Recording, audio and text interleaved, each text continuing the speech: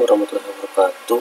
Balik lagi sama gue bisa Putra. Nah kali ini gue mau ngajarin cara membuat Gmail Menggunakan Google Chrome ya.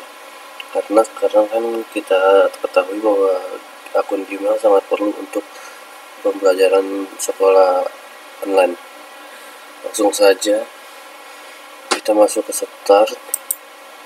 Kita ketikkan Chrome. Nah, jika sudah masuk seperti ini, kita klik Gmail di pojok kanan atas, buat akun.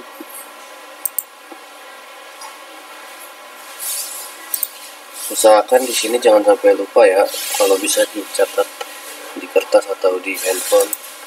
Nah, kita coba ini sebagai contoh aja.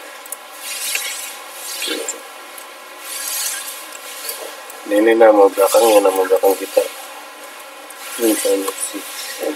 Ini alamat email yang nanti diperlukan untuk pendaftaran seperti sekolah online atau pembelajaran online Google Zoom segala macam ya.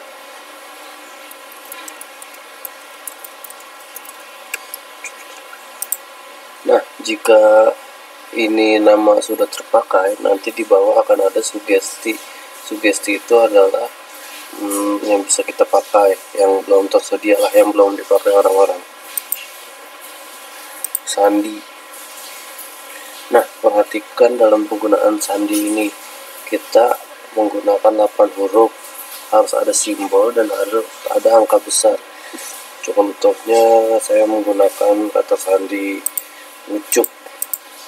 U besar c u p satu dua tiga. Dan titik. Nah ini kan udah ada huruf besar angka huruf huruf angka dan simbol. Nah kita ulangin di sini. Cuk satu dua tiga titik. Nah berikutnya ini jika sudah silahkan dicatat atau dipoto agar tidak lupa ya nah ini nomor telepon kalian. Tanggal lahir juga perlu. Kalau ini nggak mau diisi nggak apa-apa sih yang dua ini. Nggak terlalu perlu. Yang perlu tinggal ini tanggal lahir. Kalian. Kalian isi saja tanggal lahir kalian. Ini jenis kelamin. Kalau sudah berikutnya di sini sudah selesai saya setuju. Ini loading.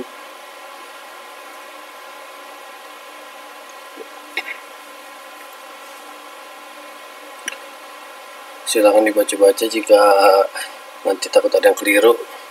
Nah di sini kalau udah keluar menu seperti ini tandanya udah masuk alias sudah berhasil untuk melihat apakah sudah berhasil kita bisa tutup jendelanya atau kita tutup chrome kita buka lagi Google Chrome.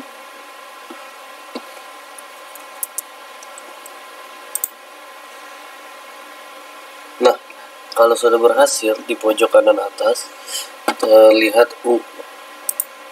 Nah ucapin Sanusi ini email yang tadi kita pakai untuk daftar Gmail ini emailnya saya rasa passwordnya sudah dicatat atau sudah dipoto ya agar tidak lupa.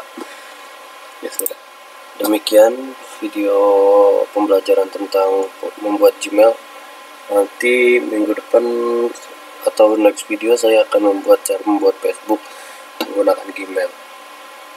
Pantengin terus channel saya jangan lupa di subscribe share and comment like sebanyak-banyaknya ya. Assalamualaikum warahmatullahi wabarakatuh